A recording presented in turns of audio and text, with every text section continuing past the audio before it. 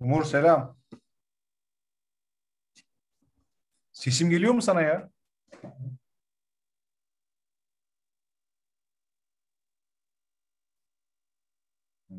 Dın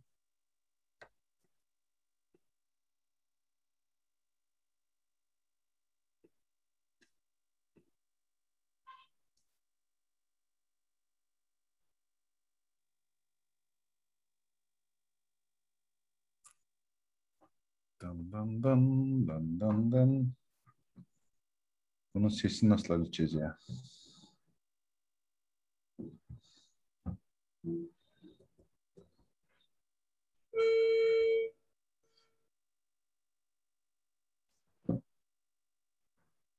Alo. Bunun sesini nasıl hallediyoruz ya? Ee, benim sesim e, sana geliyor mu? Senin sesin bana geliyor. Yok seninki bana gelmiyor. Ha, benimki sana gelmiyor. Aynen. Hadi ya. Halletmeye çalışacağım şimdi. Tamam. Kulaklık takmam gerekiyor.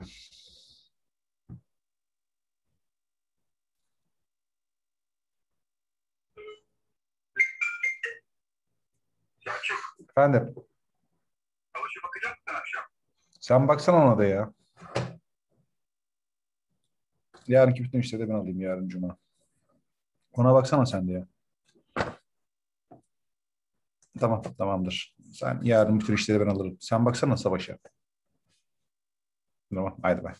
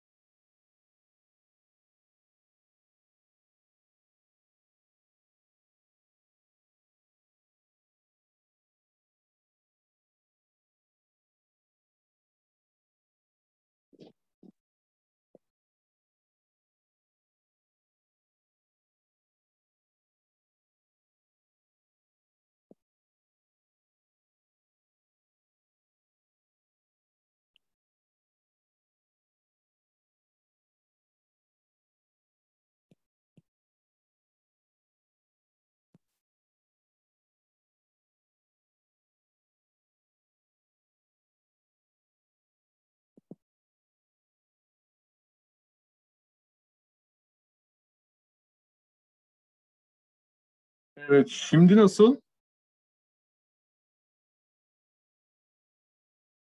Şimdi geliyor mu sesim?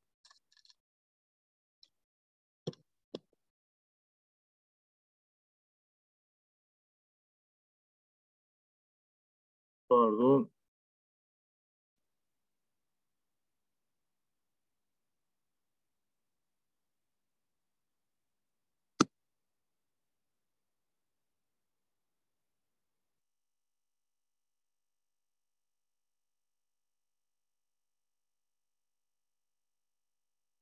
Sesim geliyor mu?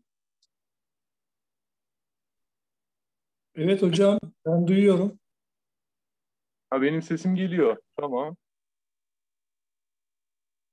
Evet evet, seste sorun yok. Ses geliyor. Tamam.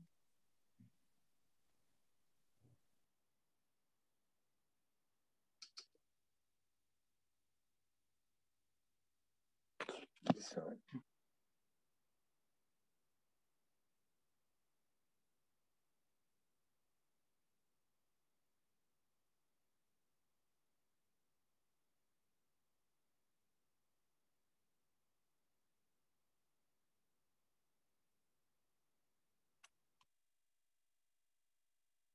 Ee, Selçuk senin sesin gelmiyor. Benim sesim sana geliyor mu?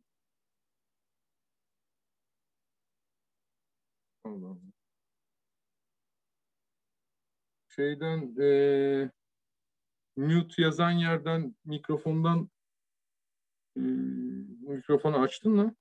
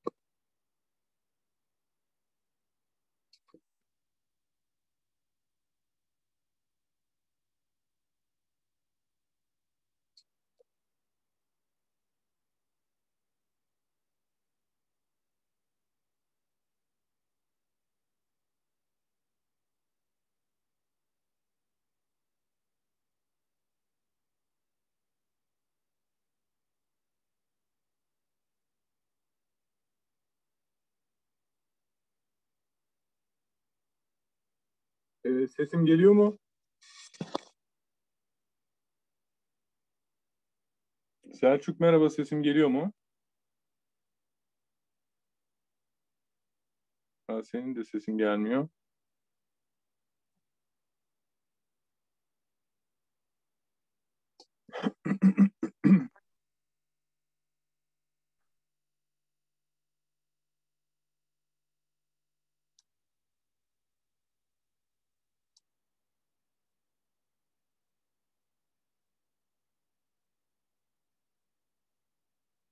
Bir saniye hemen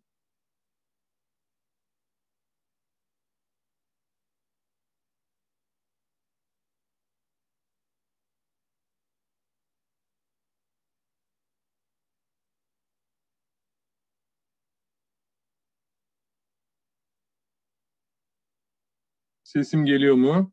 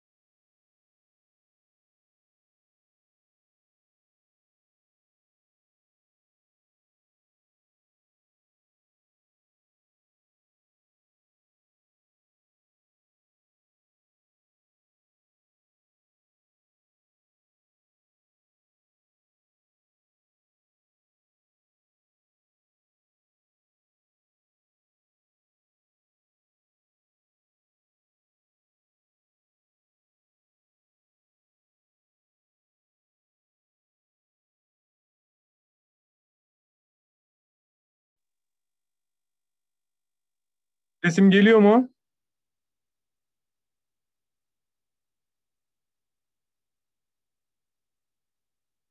Mikrofona izin vermen gerekiyor e, diyor.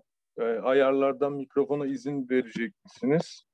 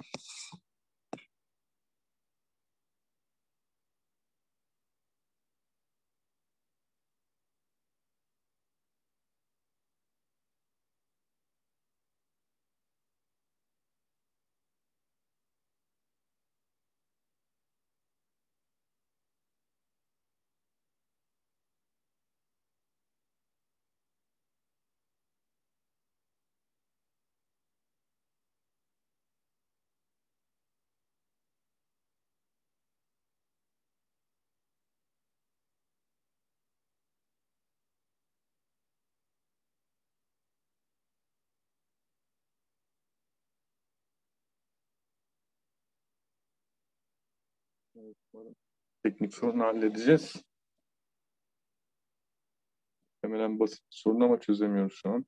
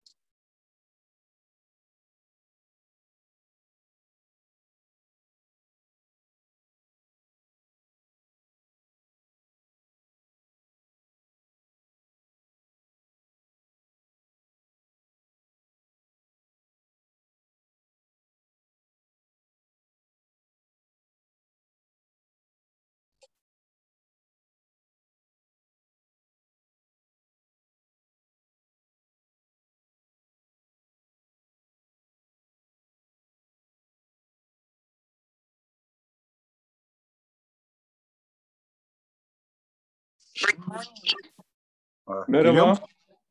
Ha geliyor geliyor. Şu an çok iyi. Herhalde Senin sesin geliyor mu? senin sesin gayet iyi geliyor ya. Ha güzel. Tamam. Evet, Evet. hoş geldin. Hoş bulduk. Teşekkürler öncelikle e, kabul ettiğin zaman ayırdığın için çok teşekkürler. Ne demek? E, bize de özellikle işte e, foto muhabirliği konusunda e, hevesli arkadaşlar var. Onlar da işte ya canlı katılsınlar ya da kayıttan dinlesinler. E, sizin gibi işte e, meslek profesyonellerinden belki e, bir şeyler e, kaparlar veya esinlenirler diye böyle bir sohbet yapalım Umarım, dedik.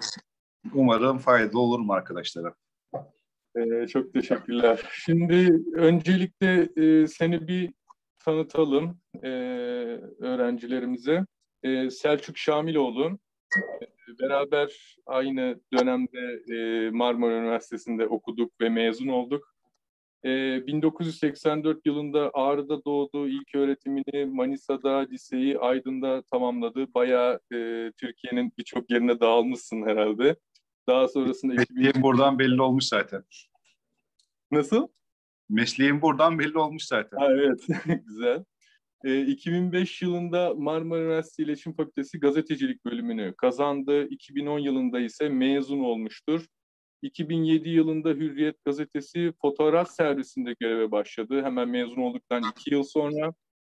E, daha sonrasında bu burada ağırlıklı olarak toplumsal olaylarda ve savaş bölgelerinde görev yapmıştır. Suriye İç Savaşı'nı, Irak, Musul ve Kerkük'teki olayları fotoğraflamıştır.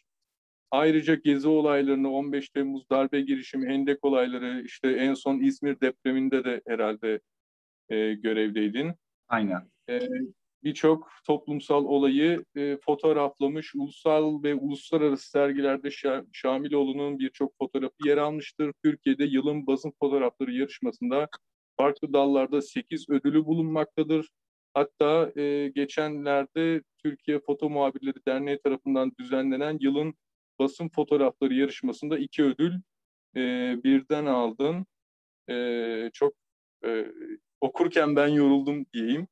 E, yani başarılı bir geçmişin var Teşekkür gördüğüm kadarıyla. Evet. E, burada e, ben mesela işte Marmara'da başladığımda genelde e, ilk ne olacağıma pek karar verememiştim. Böyle e, son zamanlara doğru artık şey olur ya böyle mezuniyete yakın ne yapacağız biz ya falan filan telaşı olur. E, bir türlü karar veremezsin mesleğine, kariyerine falan. E, böyle mesela ben girdim ilk başta işte gazeteci olacağım diyordum ben de. İşte televizyon habercisi falan olacağım. Ondan sonra ya düşündüm e, işte bir yandan da müzisyenim mesela. Sesle de ilgileniyorum falan. Sesçi mi olsam? Kaç mezun olur senin? Birkaç Nasıl? sefer şahit olmuştun. Güzel de müzisyenliğin vardı senin ya. Ha, eyvallah çok teşekkürler. Ee, böyle düşündüm. Ondan sonra ya e, ba- başka bir şey mi yapsam falan derken birden akademiye falan merak saldım. Sen e, nasıl e, böyle bir sende nasıl böyle bir fikir oluştu? Nasıl e, fotoğrafçılığa yöneldin? Haber fotoğrafçılığına nasıl yöneldin? Böyle ilk girer girmez direkt e, o fikirle girip de öyle bir mezun oldun yoksa e, bu da süreç içerisinde mi oluştu benimki gibi? Yani seninki gibi süreç içinde oluştu. Aslında benim e, gazetecilik bölümünü kazandığımda fotoğrafçılık ya da foto muhabirliği hiç aklımda bile yoktu benim bu süreçler. Nasıl oldu? Yani üniversitenin birinci yılındayken falan yani derslere giriyorduk. İşte tarih var, siyaset var, ekonomi var, spor var, sanat var, fotoğrafçılık var. E bunların hepsini bir arada yapamayacaktık. Yani bunların içinden bir tanesi seçmemiz lazımdı. Yani uzmanlık alanı olarak yani hepsinden de bir parça yapmaya çalışsak olmazdı. Ben bir bunu Evet. düşündüm. Ee, ilk bir ay, bir buçuk ay boyunca. E zaten okulumuz da Taksim'e yakındı. Her gün Taksim'e gidiyoruz. Taksim'de sürekli bir olay var. Sürekli bir eylem var. Bütün gazeteciler orada. Biri fotoğraf çekiyor, biri haber Evet. falan yapıyor. Ya orada gözlemledim. Şeye bak baktım. Ya dedim yani her gün aynı eylem var. Sadece isimler değişiyor. E, gazeteleri de takip ediyordum. Eylemlere bakıyordum. E, sürekli aynı haberler farklı sözcüklerle yazılıyordu ama fotoğraflar sürekli farklıydı. Farklı açılardan, farklı e, bakış açılarından çekiliyordu. Yani biraz daha estetik geliyordu bana. O zaman karar verdim ya ben bu işi yapacaksam bir de sokakta olmayı seviyorsam fotoğrafçılığa ben bir başlayayım dedim. İşte bununla ne yaptım? İlk başta bir fotoğraf makinesi aldım. Yani fotoğraf o zaman yani şöyle söyleyeyim üniversiteye gelene kadar yani hiç fotoğraf çekmemiştim. Makineyi aldım. Makineyi tanımaya çalıştım.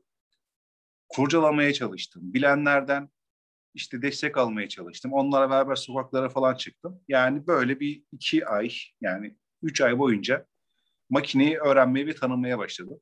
E sonra baktım bayağı zevkli iş. Güzel iş. Geziyorsun, dolaşıyorsun, fotoğraf çekiyorsun. E bu da şeyi düşündüm. Ya ben bundan gerçekten zevk alıyorum. Benim hobim. E ben bir de bundan para kazanmaya başlarsam ya da o benim mesleğim olursa çok daha iyi olur deyip böylelikle ben fotoğrafçılığa falan başladım. Ha, nasıl başladım dersen aslında çok da kolay olmadı başlamam. Yani ilk iki yıl hemen hemen İstanbul'daki bütün eylemlere gittim. Yani gündüzü, gecesi ne varsa hepsine gittim. Oradaki foto muhabirlerle tanışabilmek için. İlk başlara bir göz aşinalığı yaptırayım. Hani beni bir tanısınlar, etsinler. Çünkü sürekli bir işe gittiğin zaman ister istemez oradaki kişiler bir merak oluşturuyorsunuz. Orada Yani birkaç bir yere bağlı olmadan bir yere bağlı olmadan yani bir gazeteye bir şeye bağlı olmadan bütün eylemlere gidip fotoğraflıyordun yani olay. Yani o bir yıl boyunca ben bir, bir buçuk yıl boyunca bütün eylemlere gittim. Yani hiçbir yere bağlı değilim. Hani çektiğim fotoğraflar bir yerde kullanılacak mı, kullanılacak mı? Yani öyle bir kaygım falan yoktu. Tek derdim oraya gittiğimde tecrübe kazanayım. Oradaki foto muhabirleri neler yapıyorlar? Nasıl pozisyon alıyorlar? Açıları nasıldır? Yani çok oradaki göstericilerle etkileşimi nasıl? Onları gözlemledim. Onları gözlemlerken de kendimi gösterdim onlara. Yani kendimi tanıtmak istedim. En azından bu işlere falan geliyor. merak uyandırıp ya bu çocuk kimdir dedirtmek istedim. E, nitekim de öyle oldu. Birkaç arkadaşım oldu. Amacına Birileri... ulaştın mı? Amacıma Gerçekten. ulaştım en azından. Tabii tabii amacıma ulaştım. Yani oradaki foto muhabirleri işte Murat Sezer tanırsın. Hani Evet evet Murat Sezer'i tanıyorum. Sedat Suna vardır, Ben Kılıç vardır. Ya bunlar çok önemli fotoğrafçılar. Çok iyi. Ee, efsaneler yani Türkiye'de. Ya tanıştık. Yani onlar da biraz bana yol gösterdiler. Ne yapacağımı gösterdiler. İşte çektiğim fotoğrafları onlara gösterdim. Nelerin olması, nelerin olmaması gerektiğini gösterdiler. Daha çok bana fotoğraflarında nelerin olmaması gerektiğini gösterdiler. Bu benim için büyük bir avantajdı. Ya, güzel. Nelerin olmaması gerekiyormuş bir fotoğrafta. Aynen. Nelerin olmaması gerekiyorsa yani olmaması gereken ne varsa benim fotoğraflarda vardı. Onu da bana söylediler. Onları gösterdiler. Ben de böyle bu meslek hayatına başladım. Hani Hürriyet Gazetesi'ne ne zaman? Böyle işte, o dönemlerde de ufak tefek yayınlanıyor muydu fotoğrafların böyle hani bir, şey, bir yere çıkınca falan heyecan yapıyor muydun yani öyle? Ya ister istemez heyecanlanıyorsun. Bir kere Sabah Gazetesi'nde bir fotoğrafım çıkmıştı arka sayfada. Yani 2000'li yıllar yani 2006 mıydı? 2006 Hı. olması lazım. Ya düşünsenize tirajı 700 bin, 800 bin. Ya 1 milyona ulaşan tirajlardı o zamanlar.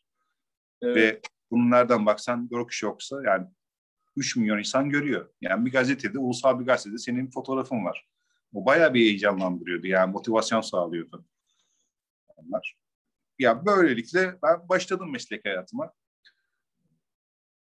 Devam da ediyorum yani. Bir de e, şeydi de aslında yani mesela bizim Marmara'da e, hatırlar sen de bilirsin yani mesela kamera öğretecekler. Kamera yok okulda. Yani evet, okulda ya. kullanabileceğiniz bir kamera yoktu. O şeyi çizerdik işte Hoca tahtaya kamera çizerdi. Bu kameranın gövdesi objektif falan diye oradan anlatırdı. İşte yani stüdyo falan hak getire zaten.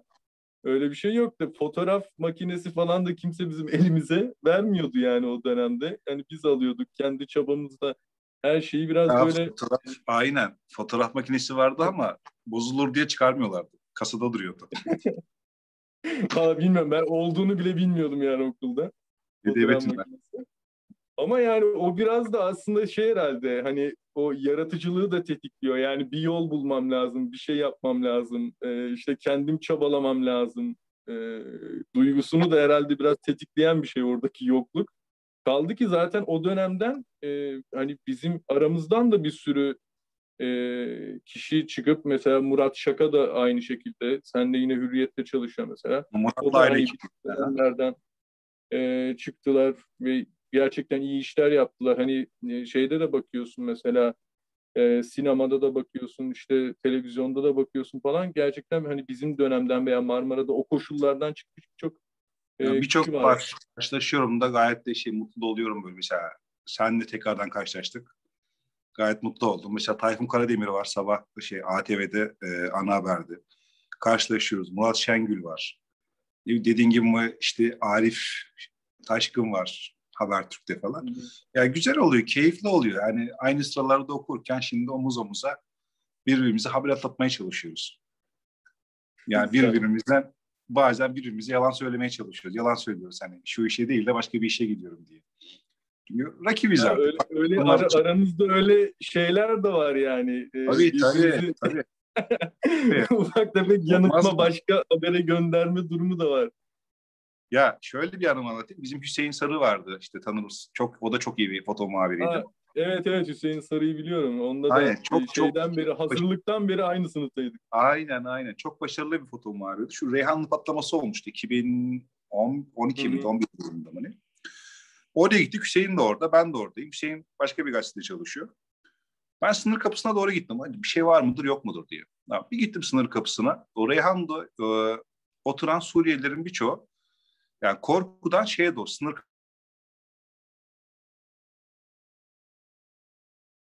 Ee, sesin gelmiyor şu anda. Ha geldi. Tamam. Oradaki vatandaşlar şey, son dediğini anlayamadım. Sesin gelmedi Selçuk. Ha, Rehan'daki, patla, Rehan'daki patlamayı şey Suriyelilerin yaptığı söyleniyordu. Oradaki Suriyeliler, böyle sığınan Suriyeliler de sınır kapısına doğru gitmişlerdi işte Cibegül sınır kapısına doğru. Ben bir gideyim dedim. Bir baktım eyvah bütün şeyler orada. Mülteciler orada. Kamyonların altına girmişler, sığınmışlar. Orada yatıyorlar, orada kalkıyorlar. Hani merkeze gitmiyorlar. Korkuyorlar çünkü. Biz onları bayağı bir güzel fotoğrafladım. Metnin haberlerini de yazdım. Gazeteye geçtim. Yolda giderken Hüseyin'le karşılaştık. Hüseyin de sınır kapısına doğru gidiyordu. Durduk böyle. Konulaştık. Ne yapıyorsun dedi. Kapıdan geliyor. Kapıda bir şey var mı dedi. Yok dedim Hüseyin hiçbir şey yok kapıda dedim. Hadi ya dedim. Gitmeyeyim dedim. Boşuna gitme dedim kapıya. Hüseyin de döndü. Arkamızdan şeye geldi. Ersin üniversiteye geçince ya dedi oğlum dedi sen dedi yıllarca arkadaşız. Bari bana bunu yapma dedi. Benim Hüseyin kimse yoktu. Sen de gidersin haberin özelliği kalmayacaktı. Kusura bakma dedim. Yani, Ya böyle- evet.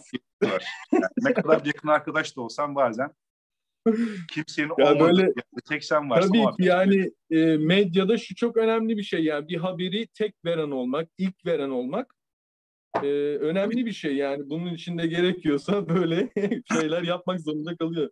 Ya benim şeyim olur mesela kriterlerden bir tanesi ya da prenslerden bir tanesi. Tek başıma bir yerdeysem eğer benden başka hiçbir gazeteci yoksa ben o işi ya da haberi e, çektiysem ya da yazdıysam ya da konuştuğum insanlarla diğer arkadaşlarıma söylemem. Ama benim dışında birkaç tane daha gazeteci varsa bana sorduklarında yönlendiririm. Çünkü artık haberinin bir özelliği yok. Çünkü benim dışındaki kişi daha var. Üç kişi daha var. Yani dördüncü, beşinci kişinin yapmasında benim için bir sorunu yok. Böyle de yazılı olmayan ilkelerimiz var. Evet. e, biraz pragmatizmi gibi geldi. Evet. Güzel ama yani böyle olması gerekiyor. Bu rekabet hoş bir rekabet. İşi de geliştiren bir şey yani sonuçta. E, evet. Kendine ideal olarak benimsediğin e, fotoğrafçılar var mı? Ya aslında idol olarak benimsediğim böyle tam aman aman fotoğrafçılar diyemeyeceğim ama sürekli olarak şeye falan bakardım. Böyle tarihe yön veren işte 25 fotoğraf, 50 fotoğraf gibi şeyler vardır. Hı hı. Hani o fotoğraflara baktığımda oradaki fotoğrafların gücü beni her zaman biraz daha şey yapmıştır. Fotoğrafçılığa gitmiştir ya o şeyde. Mesela şey vardır işte Kevin Carter'ın e, genç kız Akbaba fotoğrafı vardı hatırlarsanız işte bir Evet, Akbaba var. evet. Çok orada gazetede o örnek gösterilir zaten. Hani örnek mi, meslek mi falan filan. Tabii yani o da biraz tartışılır o konuda da. Yani çünkü sonuçta Kevin Carter'ın görevi o çocuğu kurtarmak değil ya da oradaki savaş başından Kevin Carter değil. Yani o işi yapacak bir sürü sivil toplum kuruluşları var, ordular var, ülkeler var ne bileyim. İşte bunun eee, Avrupa Birliği var ya saysak bitmez yani. Onun dışında yapabilecek bir sürü insan var. Hani o fotoğraf beni etkilemiştir mesela. Hatta intihar etmişti Kevin Carter o çocuğa yardım edemedim diye. Ama daha sonra o çocuğun gayet sağlıklı bir şekilde yaşadığı da ortaya çıktı. Ne bileyim işte 89 yılında Çin'de e, tankların önünde duran tank adam fotoğrafı vardır mesela. Evet, evet. Çin'deki e, yolsuzluğa karşı direnen bir adamın fotoğrafı. Yani böyle birçok isim sayabilirim aslında. İdolden ziyade benim şeylerin fotoğraf kareleridir. Yani Robert Capa vardır, Henry Branson vardır, ne bileyim Kevin Carter vardır, Robert Donizer vardır, öpücük fotoğrafı vardır işte 1950 yılında Hı hı. e, çekmiş olduğu Kinyo Savaşı bittiğinde öpücük fotoğrafı falan vardır. Ya bunları ben baz aldım kendime. Yani kişilerden çok fotoğraflar Aynen kişilerden çok önemli. fotoğraf. Gerçi fotoğrafları çekenler de kişiler ama böyle sayarsak belki 50 tane isim sayabilirim sana. Yani fotoğraf bazından çıkarsak.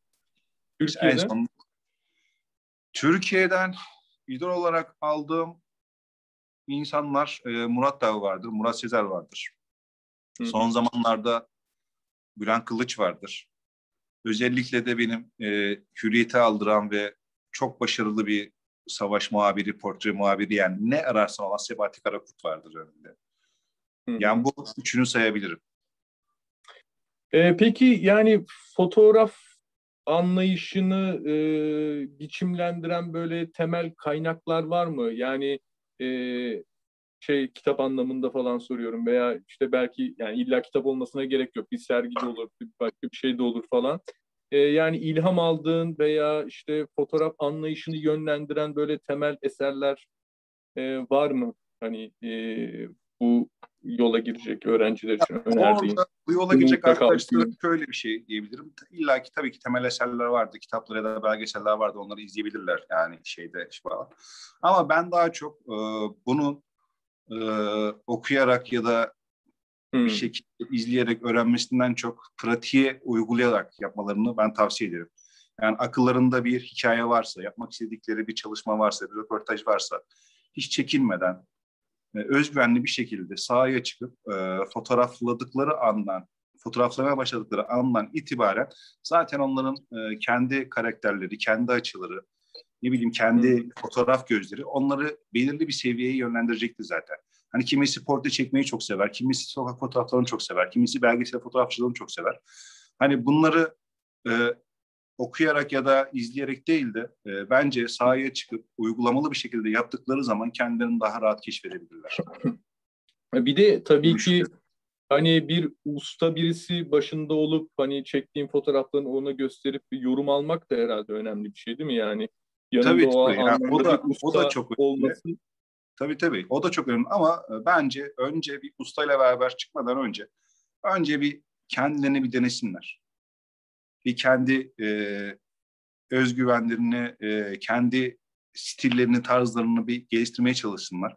Zaten bir şekilde o fotoğraflarını birilerine gösterirler ya da görecek birileri de bulunur. Orada da onların işte e, yapması gerekenleri, yapmaması gerekenleri zaten bir usta onlara net bir şekilde söyleyecektir ama öncelikle kendi çalışmalarını yapmaları lazım. Yani yorum evet. almadan önce yorum almadan önce ya da tavsiye almadan önce e, yapmak istedikleri çalışmaları yapsınlar, onları göstersinler. Onların üzerinden yorum ve tavsiye almaları ben, ben her zaman daha olumlu görmüşümdür. Evet yani somut işler üzerinden e, şeyleri konuşmak herhalde. İşin biraz daha böyle ne bileyim e, sen kendini foto muhabir olarak mı tanımlıyorsun? Yani sadece e, haber fotoğrafçısı e, mısın yoksa işte bunun yanında ne bileyim sanatsal fotoğraflar çekeyim veya ne bileyim ürün fotoğrafı çekeyim veya başka fotoğrafçılık alanlarında da yöneldin mi veya yönelmeyi düşündün mü böyle işlerde yapıyor musun? Veya portre de çekiyorsun çok... zaten gazetede bildiğim kadarıyla. Evet ya birçok şeyi denedik aslında. Denedik derken yani işimizin gereği gazete foto muhabiri olduğumuz için biz gazetede her türlü işe gidebiliyoruz. Yani savaş bölgesine de gidiyoruz, sınır bölgesine de gidiyoruz, portre de çekiyoruz, yemek fotoğrafı da çekiyoruz, işte magazinsel olayları da çekiyoruz. Yani hepsi bizim e, aslında işimizin bir kolu. Hepsini yapmaya çalışıyoruz burada. Hı hı. Ama e, tabii yani biz dört kişilik bir ekibiz. Yani dört kişilik ekibin ekipteki herkesin belli bir uzmanlık alanı var. Daha doğrusu sevdiği tarz var. Bir arkadaşımız Hı. portre çekmeyi çok iyi sever. Bir arkadaşımız belgesel yapmayı çok sever. Ben sıcak haber olaylarını çok severim. Bir arkadaşımız konser çekmeyi çok sever. Ya bu e, mesleğe girdiğiniz andan itibaren branşlaşma demeyelim de sevdiğiniz yöne doğru yöneliyorsunuz zaten. Yani diğer şeyleri de fotoğrafları da çekiyorsunuz. De portreydi, yemekti, still life fotoğraflar hepsini çekiyorsunuz. Yani bir ayrımı yok. Yani gazete foto, foto muhabirliğinin böyle bir yanı var. Evet. Yani bir gün savaş bölgesindeyken evet. ertesi gün Hilton'da gidip bir davette fotoğraf çekebilirsiniz. Evet, güzelmiş. Yani enteresan. Bu insanı yaşam olarak da aslında zenginleştiren de bir şey herhalde. Tabii yani bayağı bir zenginleştiriyor. Bir de bazen kavram karmaşasına giriyorsunuz. Yani bir yerde bir gün önce çok mutsuz bir olay rast gelirken e, ruh haliniz biraz daha dağınıkken ertesi gün gidiyorsunuz Hilton'da ya da atıyorum Amerikan konsolosluğunda bir yerde müzikler eşliğinde elinizde kadehlerle dans ederek yani bir yaşam sürüyorsunuz. Evet. Artık üzüleyim mi, eğleneyim mi, ne yapayım? Yani biraz kavram karmaşası hafiften oluşuyor ilk zamanlarda. Daha sonra alışıyor insan. Evet hızlı bir şekilde o bulunduğun ortama adapte olabilmen de gerekiyor. Kesinlikle herhalde. adapte olman gerekiyor yani. Dün dün de kaldı, bugün bugündür diyorsun, devam ediyorsun.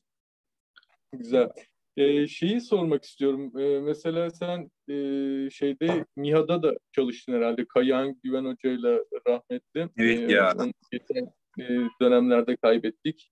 Belki onun hakkında da bir şey söylemek istersin veya onun sana kattıkları e, hakkında da bir şey söylemek istersin belki. Ya Kayağan Hoca Allah rahmet eylesin çok severdim. Yani aslında çok büyük katkısı vardır ya mesleğe başlamamda daha doğrusu fotoğrafçılığa başlamamda da çok büyük katkısı vardır.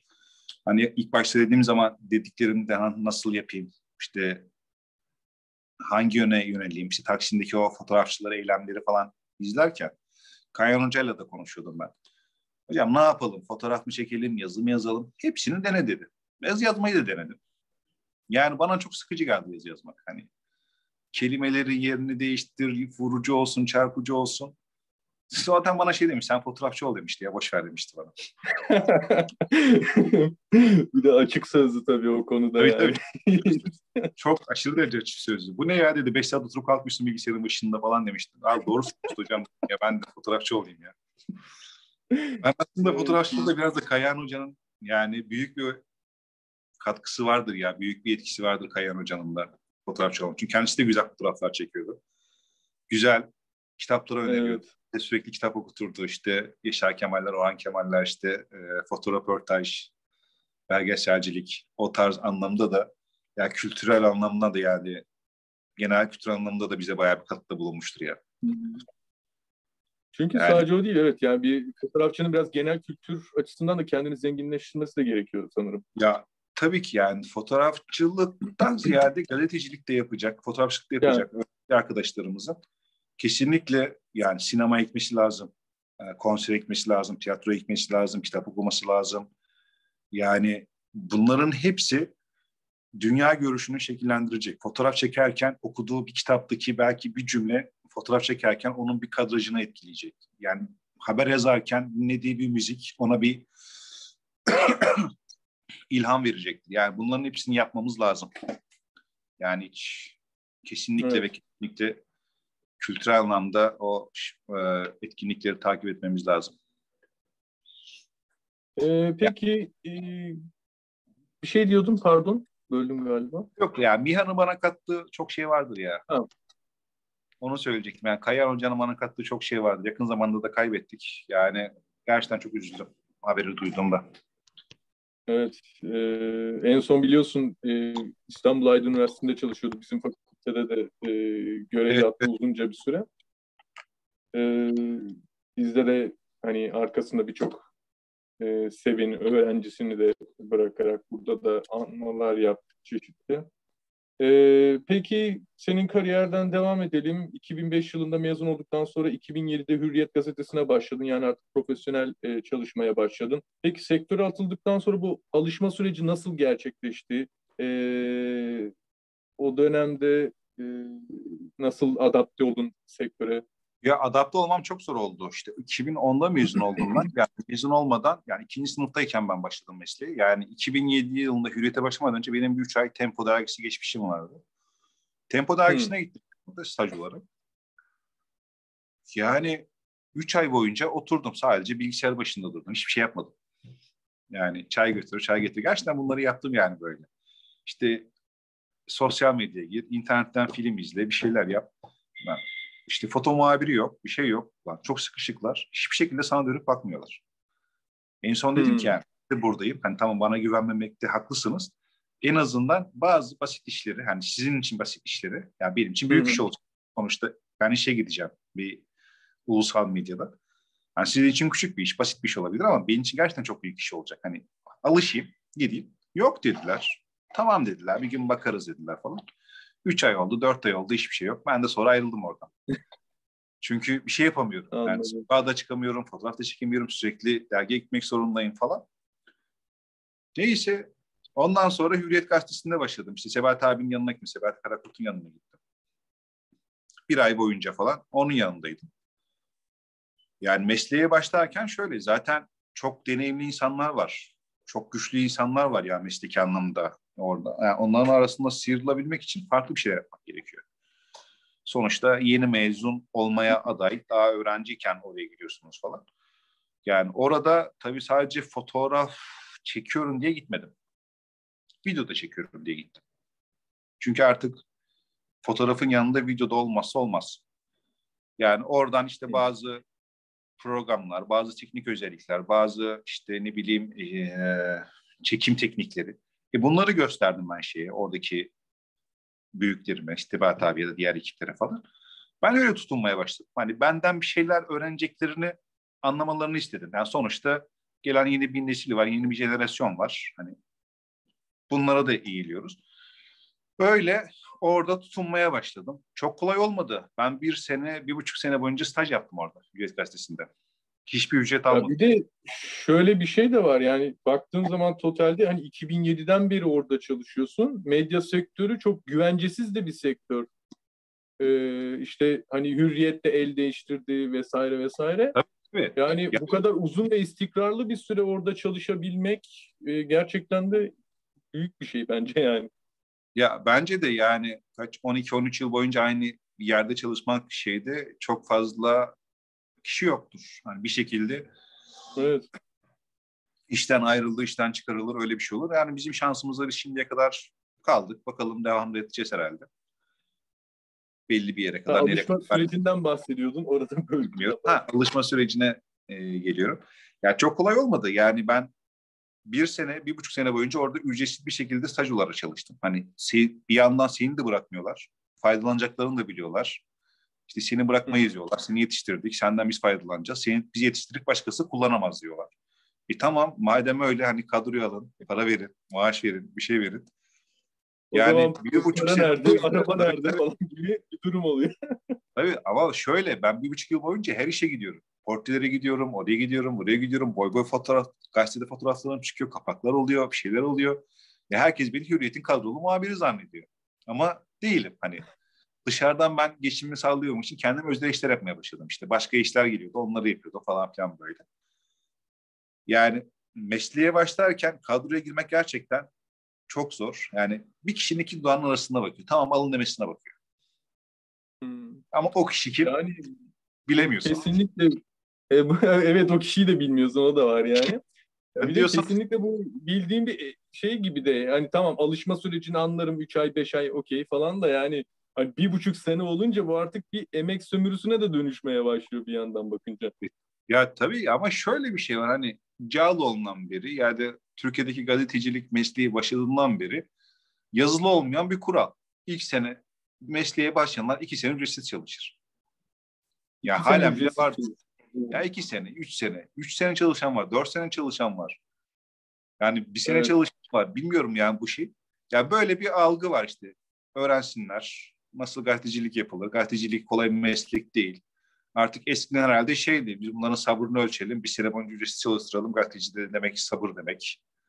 İşte Hmm. e, Mete Giderse gider gitmezse Ha. bizimdir. Aynen.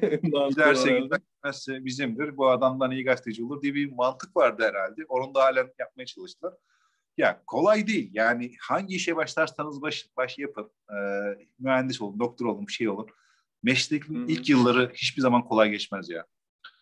Yani bir iş Kesinlikle. nasıl seni bir işe gönderirler. içinde bir heyecan olur, bir korku olur. İşi yapabilecek miyim, yapamayacak mıyım? Ben de bir sene falan sürdü böyle. Her gittiğim işte. Hafif bir korku ve endişe demeyeyim. Endişe varsa geçmiş olsun. Ömür boyu endişe atamazsın zaten. Korku Yani- ya da şey gibi herhalde ben buraya ait değil miyim? Bu, bu iş bana göre değil mi acaba falan şüpheleri sürekli içinde Ya o- herhalde değil mi? aynen bir de şey yani yapabilecek miyim işte beğenecekler mi beğenmeyecekler mi fotoğrafları yaptığım Hı hı. işi e, karşılığında tepkimi alacağım, övgümü alacağım. Yani öyle bir endişe falan vardı. Daha sonra, Sonra zaten ne zaman tamam ben oldum hani e, dedin yani o ilk aslında daha nasıl halen, oldu onu merak ediyorum. bile halen bile demiyorum. Oldum demiyorum ama Ha, tabii yani oldum başka bir şey de yıldan- yani şey gibi sonra tamam şöyle. ya ben ben bir Ha. foto muhabirim artık falan. E, Ya iki yıldan zaman- iki yıldan sonra onu demeye başladım. İki iki yıldan iki iki buçuk yıldan sonra tamam ben artık bu işleri artık kimse bana bir şey demeden gider çeker gelirim. Ben artık foto muhabiriyim dedim. Yani iki yıl benim için biraz şeydi. Yani bir yılda stajyerlik koyarsak üç yıl biraz zorlu geçti. Çünkü şöyle bir şey var. E, bugün bir iş yapıyorsunuz, iş çok güzel. Gazetecilikte o bugün de kaldı.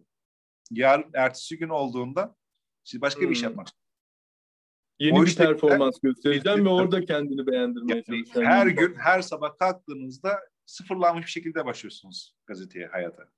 Çünkü her gün bir şey üretmek zorundasınız. Her gün bir şeyler vermek zorundasınız. Onun bir şeyi var. Evet, o zamanlar. Onun bir e, korkusu demeyeyim de lan. Ne üreteceğim, ne yapacağım, ne edeceğim. Tamam bu iş güzel oldu. İki gün daha beni idare eder. Üçüncü gün benim bir şeyler yapmam lazım. Sürekli Evet. yeniliyorsunuz. Yani gazetecilikte dün yoktur, bugün vardır. Onun için sürekli biz bir şeyler üretip çalışmak zorundayız. Ya zorunda demeyelim de mesleğimizin icabı bunu yapmamız gerekiyor. Evet, e, burada artık e, baktığımız zaman mesela günümüzde internet, dijital teknolojiler çok e, gelişti. İşte e, yani bilgi aktarmak için sayısız yeni mecra çıktı. Peki burada e, ancak fotoğrafa baktığınızda artık e, hala fotoğrafın çok güçlü ve etkili bir araç olduğunu görüyoruz. Hani kamuoyu üzerinde, insanlar üzerinde çok güçlü bir araç. E, senin fotoğrafın ve mesleğin toplumsal işlevlerine dair bakış açın e, nedir? Veya geçmişten bugüne nasıl değişti? Ya fotoğraf halen bile en güçlü e, iletişim araçlarından bir tanesi. Yani insanlar bir haber okuduğunda ya da bir şeyler gördüğünde bunu kanıt olarak fotoğraf görmek ister. E, artık tabii geçmişten günümüze yeni medya baya baya bir değişti. Artık yani şu an insanlar artık okumayı bıraktı. İzlemeyi seviyor. Onun için de e, sürekli olarak bir gelişim içinde olmamız gerekiyor bizim de. Sorunu bir daha sorsana bir ya. Ben başka yerlere dalacaktım az önce. başka yerlere de dalabilirsin Baş- soru başka- başka bir yere gidiyordum Yani. Ee, yani e, fotoğrafa ve yaptığın işin toplumsal işlevine dair bakış açın nedir? Onu merak ediyorum. E, Fotoğraf, fotoğraf- kamuoyunun oluşması için toplumun bakış açısını değiştirmek, dönüştürmek için nasıl bir etkiye sahip sence veya e, Ya ne fotoğraf gibi aslında- baktığın zaman yani gerçeği yansıttığın zaman e, olanı direkt gösterebilecek bir güç. Ya da şöyle örnek vereyim. Bir eylemdeyiz. E, polis şiddeti var ya da gösterici şiddeti var. Sen burada neyi göstermek istiyorsun? Önemli olan o. Polisin şiddetini göstermek istiyorsun, eylemcinin şiddetini göstermek istiyorsun yoksa orada olan bir toplumsal olayı mı göstermek istiyorsun? Üç farklı açı var burada. Hı hı. Yani fotoğraf bunun için çok önemli. Sen burada sadece polisin gaz attığını, fişek attığını, jopladığını, her şeyini çekersen burada polis şiddeti olur. Göstericinin arasına girip sadece göstericinin taş attığını, molotof attığını, ne bileyim eee, o küfürlü pankartlarını falan çektiğin zaman burada bir gösterici şiddeti olur. Ama ikisinin ortasında durup hem polisin hem eylemcinin yapmış olduğu eee, olayı fotoğraflayıp gazetene ya da ç- çalıştığın mecraya yolladığın zaman burada senin asıl vermek istediğin hikayeyi fotoğrafla göstermek göstermiş olursun. Yani burada biraz da oradaki çalışan muhabirin dünya görüşüne ya da karakterine, kişiliğine kalmış bir hikaye. Ama fotoğrafın Ee, peki hiçbir zaman yansıtamayacak. Evet. Ee, peki sen fotoğraflarını oluştururken, fotoğraf çekerken temaların mesela hangi temaları ön plana çıkarmıyor? Ve insani bir trajedi olabilir, bir doğal afet olabilir, bir çatışma, savaş durumu olabilir. Buralarda neleri ön plana çıkarıyorsun? Yani bu hani portre fotoğrafları için de olabilir. Onun için de sorabiliriz. Ee, hangi öğeleri, hangi noktaları ön plana çıkartmaya çalışırsın, ön planda tutarsın? Ya haber fotoğrafçılığında e, daha çok yani son 5-6 yıldır haber fotoğrafçılığı yapıyorum. Yani burada e, öne çıkaracağım öğeyi o, gidip gördüğümdeki manzara belirliyor. Yani o orada Önceden orada, kafanda bir şeylerle gitmiyorsun herhalde yok, değil mi? hayır, hayır, hayır. Ama şekilde- portrede biraz daha oluyordur o mesela. Hani Ya portreye gitmeden öncesinde önce tabii ki tabii ki portreye gitmeden önce mesela röportaj çekeceksiniz. Atıyorum eee, ünlülerden bir isim. Şu an hiçbir aklıma gelmiyor nedense bilmiyorum. Bir, bir isim yani Kenan İmzalıoğlu'nu çekeceksiniz değil mi? Ya, ertesi gün röportaj var. Ya, internette açıp bakarsınız. Kenan İmzalıoğlu'nun çekilmiş olduğu fotoğraflara bakarsınız. Vermiş olduğu pozlara bakarsınız. Hem bu adamın tarzı nedir? Biraz sert bir mizacı vardır. Jöndür. Eee işte çok iyi oyuncudur. Ona göre kafanı tasarlayıp gidersin. Hani dersin ki e, deniz kenarında çekelim, akşama doğru çekelim, işte güneş kızılı olsun. Onu tasarlayabilirsin, kafanda tasarlarsın onu, her şeyi yaparsın. Ama e, sıcak haberde ya da olayda e, böyle bir tasarlama imkanın yok. Çünkü o an önüne ne geçtiyse, ne çıktıysa sen onu çekmek zorunda kalıyorsun. Biraz daha algıların açık olması gerekiyor haber fotoğraflarında. Ee, orada aslında şunu sormak istiyorum. Böyle yani e, mesela işte e, göçmenler meselesi yani gidip ne bileyim böyle çok kalabalık bir göçmen grubunu işte onların çadırlarını da çekebilirsin. Veya o göçmenler içerisinde sadece bir iki çocuğun da fotoğrafını çekebilirsin orada bir. Ya şöyle, Ee, yani e, daha çok bireyin hikayesine mi odaklamak objektifi yoksa daha genele e, çerçeveye, genel çerçeveye mi bakmak? Ya e, orada güzel fotoğraflar biraz- tabii tamam e, güzel bir hikaye tabii ki önemli. Güzel fotoğraf tabii ki önemli orada. Hı. Ya ben şuna bakmak isterim. Yani orada insanlar baktığında fotoğrafa e, kanı ısınacak, böyle gülümseyecek ya da hüzünlenecek bir hikaye varsa ben daha çok onlara yoğunlaşırım. Yoksa ya şöyle bir hikaye anlatayım. İşte Kobani olayları olduğunda 2014 yılında ben geçmiştim oraya. Tesadüfen ben de Gaziantep'teydim. Olaya patladı. Direkt Şanlıurfa'ya geçmiştim. Ya binlerce mülteci geliyor sınırlarımızdan geliyor. Şimdi tamam genel fotoğraf etkileyici bir fotoğraf. Bir fotoğraf olması gerekiyor. Öyle bir şey yani. Yürüyen insanla genel fotoğraf öyle bir bu işi hmm. yapıyorsanız gazeteye yolladığınız zaman ya da ajantta çalışıyorsanız bir genel fotoğraf, olayın vehametine atılacak bir genel fotoğraf lazım. Daha sonra içeri girip özele iniyorsunuz. Orada yani hikayesi ya da fotoğrafik özelliği olanları seçersiniz orada. Mesela bir anne vardı. iki tane çocuğunu iple beline bağlamış. 10 kilometre boyunca yürümüş. Dedim, niye bağladın? Çocuklarım kaybolmasın diye. Ya bu insanlara gösterilecek bir hikayedir. Anne ve çocukları. Evet. Yani kendine bağlamış. Ya da iki tane kız kardeş elinde bir tane e, şeyle ikisi bir biri bir ucundan biri bir ucundan bezi tutuyor. Açıyorlar. Ne var bunun içinde? Be oyuncak bebekleri var. Oyuncak bebekleriyle geliyorlar. Adamın biri kuşunu almış. Ne bileyim e, evcil köpeğini almış. Bir tane anne e, yürüme e, yani yürüyemeyen oğlunu sırtına almış. 5 kilometre boyunca yürümüş. Yani bu hikayeleri daha çok yani özel hikayeleri daha çok çekmeyi seviyorum. Yani bunlar biraz daha insanlık bilgi ve e, hikayeyi net bir şekilde verebilir diye düşünüyorum. Yani hem bir işe gidildiği zaman hem öncelikle genel hikayeyi gösteren fotoğraflar, evet. daha sonra spesifik e, küçük hikayeleri ele alan fotoğraflarla da onu herhalde zenginleştirmek gerekiyor. Tabii ki. Bir yani, tabii ki yani acı yer olan bir acıyı ve hüznü bizim göstermemiz gerekiyor. Yani bunlar bizim için iyi iyi iş oluyor, güzel iş oluyor ama baktığın zaman insanların acıları ve ne bileyim hayat tarzlarının, yaşam tarzlarının değişmesi yani bunu bir şekilde de bizim birilerinin de göstermesi gerekiyor. Bu da biz foto muhabirlerinin üzerinde. Evet herhalde biraz da yani e, o dengeyi nasıl kurabiliyorsun aslında. Yani bir yandan bir çatışma, bir e, savaş durumu var. E, tamam burada işte e, bir yandan hani kendi güvenliğini sağlaman gerekiyor. Bir yandan gazetenin senden istedikleri var. O olaya dair görmek istediği şeyler neyse. E, ve veya senin çekmek istediğin şeyler var. Bu üçü arasında böyle bir herhalde e, denge tutturmak da gerekiyor. Fotoğraf foto muhabiri herhalde bu e, ya denge da... tutturmak gerekiyor. Tabii ki bizim çekmek istediğimiz hikayeler oluyor ama güvenlik sebebiyle gidemiyorsun ya da bağlantı bulamadığın için gidemiyorsun. Gazetenin istedikleri var. Onlar insan hikayeleri ister.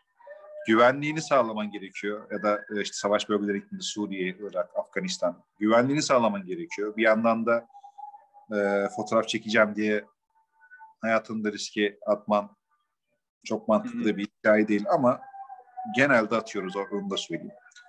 Hani fotoğraf vurma. Yani farkında bile değiliz. Hani tehlikenin olduğunu farkında bile değiliz yani. İş olarak bakıyorsun hikayeyi. Nasıl dengeliyoruz diye soruyorsan aslında ikili ilişkilerle oluyor ya. Oradaki bağlantılarla oluyor. Biraz ne istediğini bilmenle, oradaki insanlara e, insanlarla olan diyaloğunla alakalı bir şey. Bazen hiçbir şey yapamıyorsun. Mesela gidiyorsunuz Suriye'ye iki gün boyunca, üç gün boyunca hiçbir iş yapamıyorsunuz mesela. Çünkü bulunduğun otelden belki çıkamıyorsun herhalde. Otel yok zaten.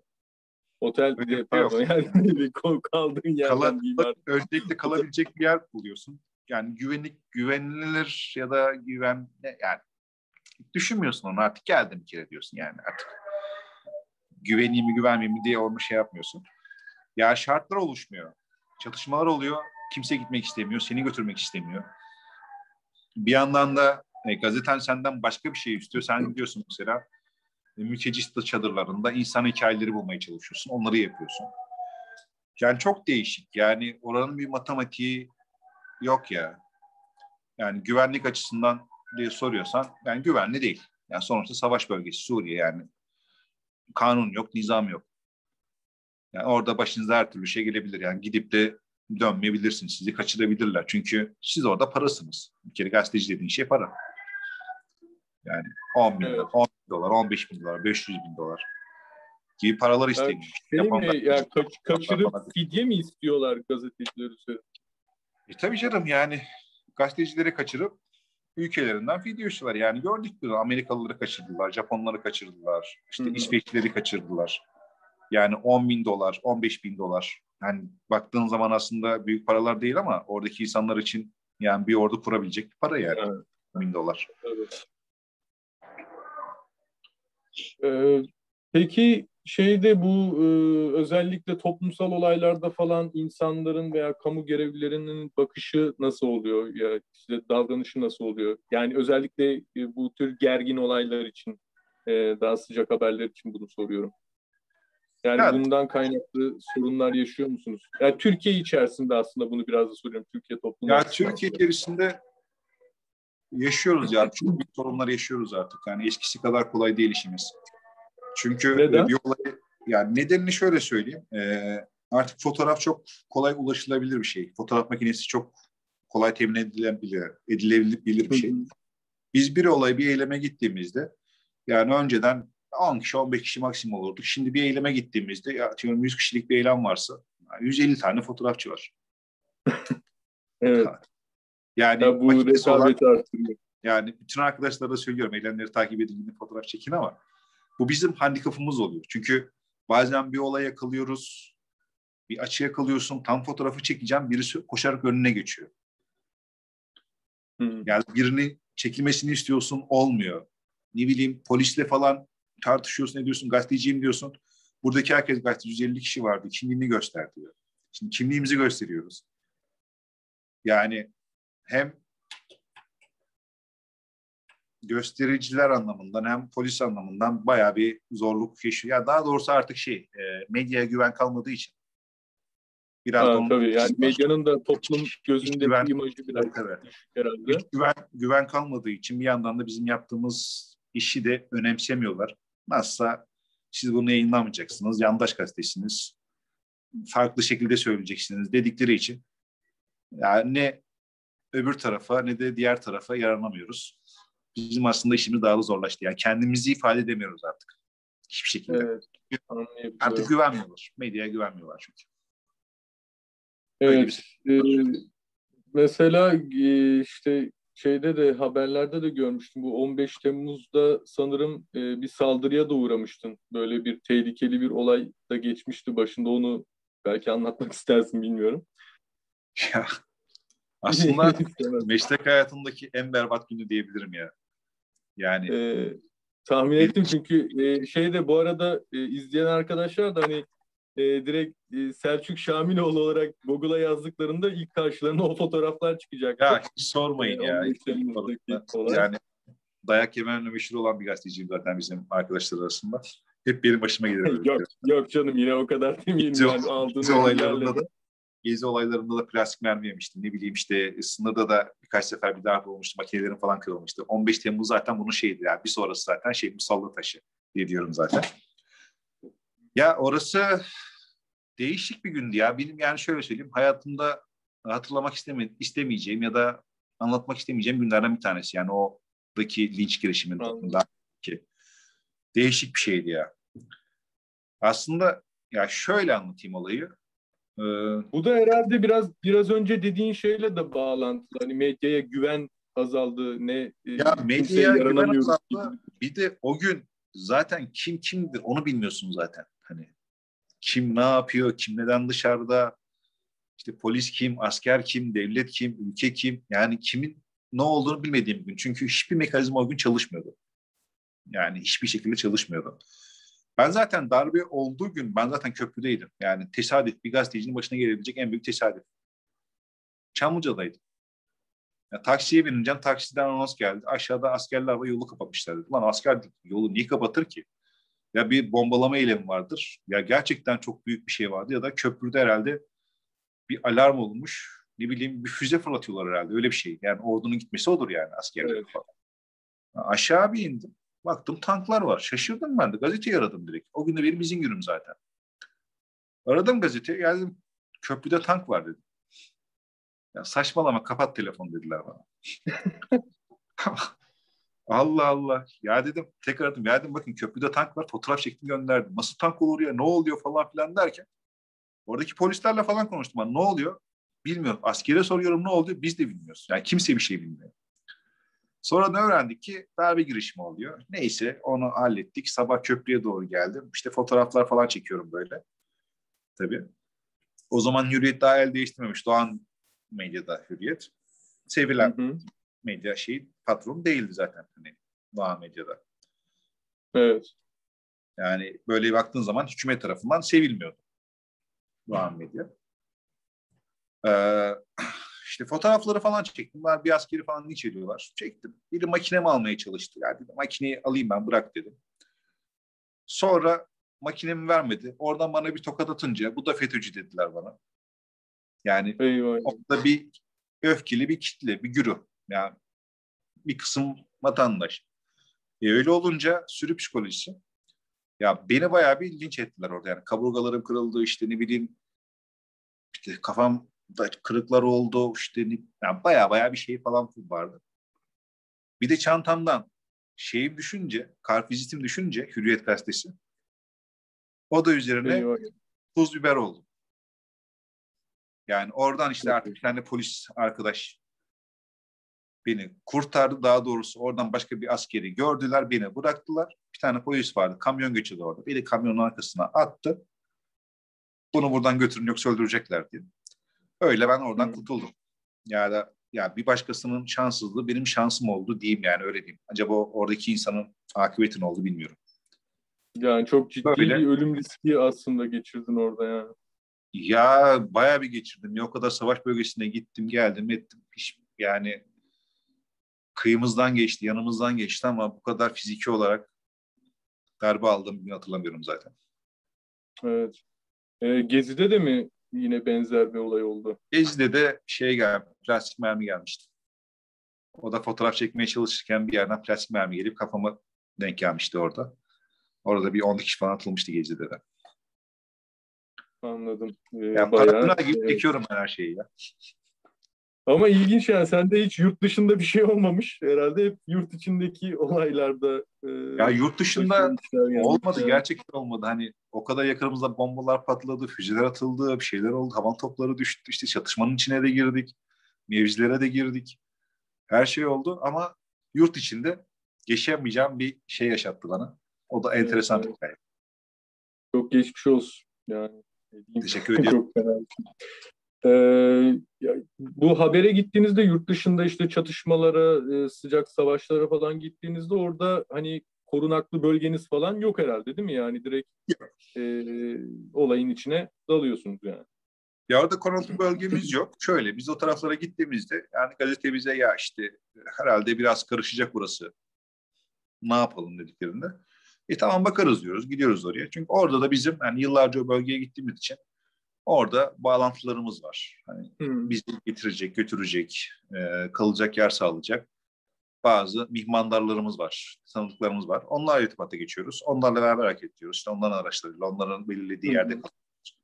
Onların belirlediği bazı yerlere gidiyoruz. Çatışma bölgelerine zaten oradaki işte bulunan grupların komutanlarından izin alarak gidiyoruz. Öyle şey e, başıboş bir şekilde gitmiyoruz.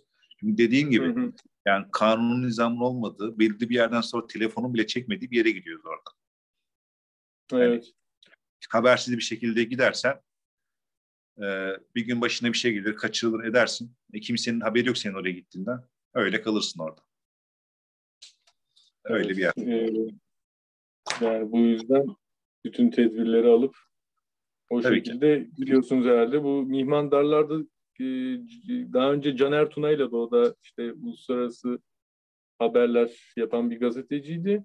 E, o da hani bahsediyordu mihmandarlarla çalışıyorlar ve işte onlar da belirli bir ücret karşılığında e, onları götürüyor falan gazetecileri. Ya şöyle, e, ben öbür taraf, karşı Suriye tarafına gittiğimde parayla bu işi yapacak bir kişiyle ben çalışmam mesela. Çalışmıyorum ben. Aa çok ilginç. Çünkü şöyle, çünkü o adamın derdi para. Sen gittiğin zaman sen orada kaldığı süre boyunca adam para kazanacak.